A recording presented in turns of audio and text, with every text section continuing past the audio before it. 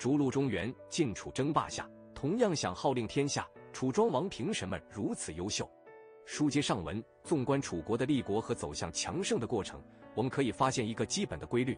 与只求守静自保的大多数中原国家不同，楚国的扩张意识之强、扩地之广，令人印象深刻。即使是同样寻求扩张的齐、晋等大国，也未能做到像楚国一样，从受封时的五十里土地发展成为横踞江淮的春秋霸主。那么，为何楚国能够做到在扩张中谋求生存与发展呢？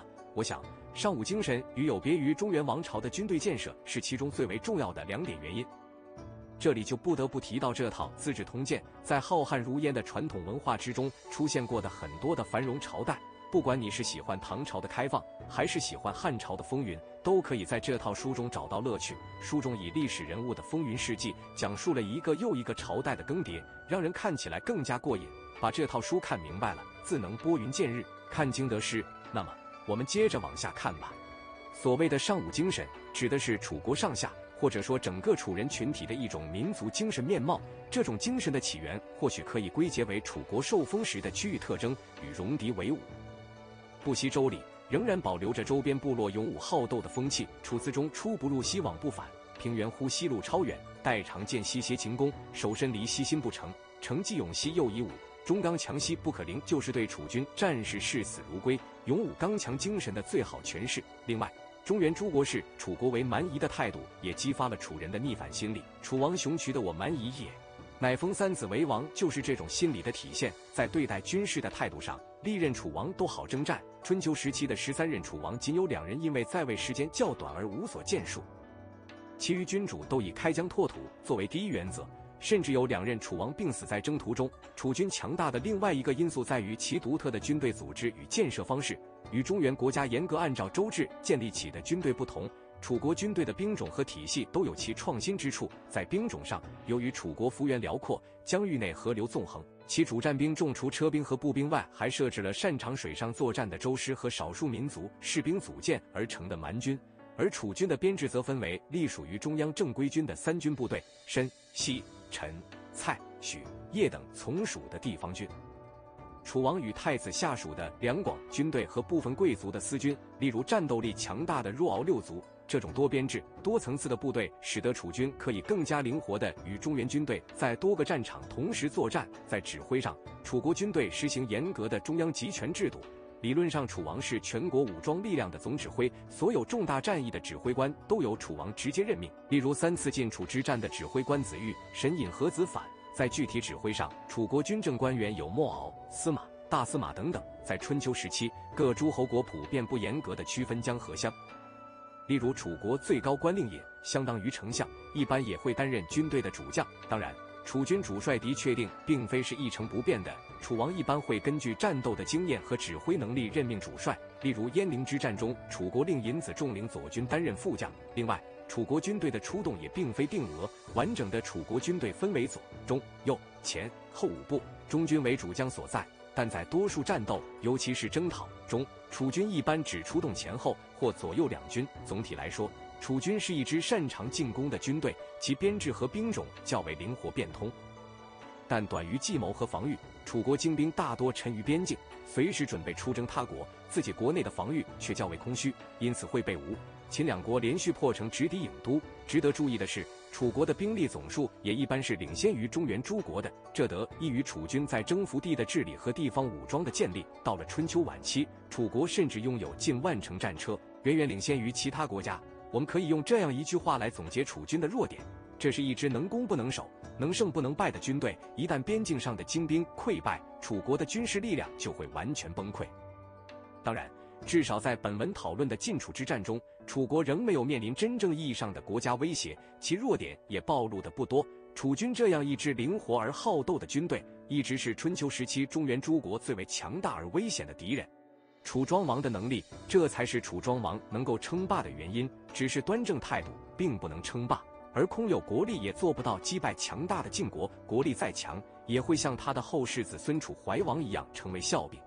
楚庄王三年（前六百一十一年），楚国发生大饥荒，八国东部的山戎族趁机袭扰楚国西南边境，一直打到富山（今湖北房县一带）。楚国组织防御，派部队在大林一带布防。东方的夷、月之族也趁机作乱，派兵入侵楚国的东南边境，攻占了阳丘，直接威胁资支、今湖北中祥一带。一直臣服于楚国的庸国也发动各蛮族部落造反，而前不久才被楚国征服的军国人也带领各彝族部落在选地集结，准备进攻郢都。短短三年间，各地的告急文书雪片般飞往郢都，各城各地都开始戒严，空气中弥漫着一种紧张的气氛，天灾人祸逼得楚国几线崩溃。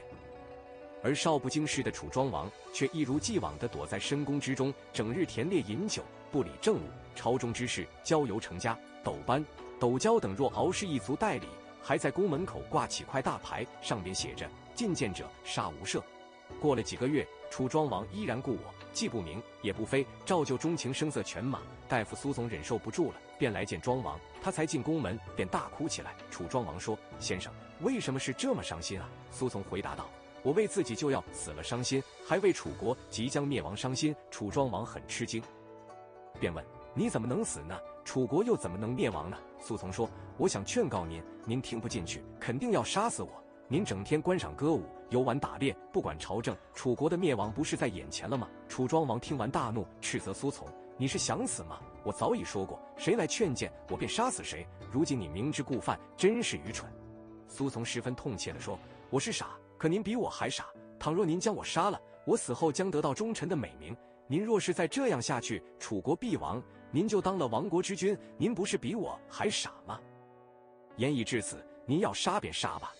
楚庄王忽然站起来，动情地说：“大夫的话都是忠言，我必定照你说的办。”随即，他便传令解散了乐队，打发了舞女，决心要大干一番事业。楚庄王终于同意武举、苏从等人的建议。决定此后远离酒色，亲自处理朝政。楚庄王开启霸业自此始，而楚庄王就是一个拥有楚国强盛国力、拥有中原霸主衰弱而自身能力又强的契机。说到楚庄王能力强，有什么证据呢？肯定有，我们一一道来。首先就是稳定内政。楚庄王继位之后，贵族内部斗争相当尖锐。之后，楚庄王通过平定公子仪和公子燮的叛乱，以及亲自讨伐若敖氏，来稳定国内政局。若敖氏在楚国一直有战神的称号，这对楚国是一个削弱。但是杨外必先安内虽然被蒋先生玩坏了，这句话还是相当正确的，稳定了国内的楚庄王开始发展经济。毕竟打仗就是在打经济，没有好的国力作为支撑，想称霸中原是不可能的。这时，后楚国大政治家令尹孙叔敖上位。孙叔敖是楚国杰出的政治人物，在孙叔敖的辅佐下，兴修水利，轻徭薄赋。连楚国的敌人晋国都叹为观止。当时在晋国大臣氏会就曾说：“楚国政通人和，不能与其交战。光会用人只是君王的一大本领，还有一个很重要的本事就是有胸怀。”有一个故事就足够说明了楚庄王的胸怀。在一次宴会中，一阵风吹过，蜡烛熄灭。此时有一位将军就摸了在跳舞的嫔妃，嫔妃灵机一动，抓下了那个将军的缨带。如果换做一般君主，看到有人对自己的嫔妃有想法，早就暴跳如雷了。而楚庄王没有，要求所有人摘下缨带后，点燃蜡烛继续喝酒。之后，这位将军为楚庄王出生入死，才知道这个就是当年摸了嫔妃的人，有胸怀，是一个君主最该有的气魄。我们看春秋五霸，包括宋襄公，也是高风亮节，会用人，杀伐果决，平定内乱而后又有楚国强大的国力作为支撑，楚国称霸。还差最后一点就是外交，外交在春秋战国最为重要，强如商鞅变法后的秦国，也要遵从这个规律。而楚国的外交也相当得当，利用中原各个诸侯国常年的积怨，第一个就是与秦国结盟。当年的秦国和晋国可是有秦晋之好的典故。可是自从先轸发动的崤之战后，秦晋连表面的和谐也已经撕破。秦晋常年的战争，虽然秦国未能压倒晋国，但怨恨已深。而楚庄王利用这个策略。联合秦国，使得晋国不敢全力南下。第二个就是联合齐国，由于齐国被晋国击败，所以齐国为了报仇，也长期联合楚国。正是有了东西两个大国牵制晋国，所以在卞之战之后，楚国之所以依然能够维持霸主地位，直到楚庄王去世，一个最重要的原因就是两大国的存在。好了，事情到这里已经基本清楚，楚庄王称霸不是一朝一夕的事情。称霸是楚国几代人努力奠定的基础，而楚庄王将这个事业推向了巅峰。最好的佐证就是卞之战这一场战役，说是楚庄王交给历代楚王最满意的答卷，并不为过。因为楚庄王之前几次进取中原都被晋景公挡住了，这。一次，我们可以看出，楚国上下一心，在楚庄王统御下汉不畏死。而晋国由于多年内部几个外姓的倾轧，怨恨加深，政令不通，最后表现在军事上的就是晋军不听将令招致失败，楚国君臣一心制霸中原。孔子读史至楚复臣，喟然叹曰：“贤哉，楚王，轻千乘之国，而重一言之信。楚庄王一代霸主，功成千秋。”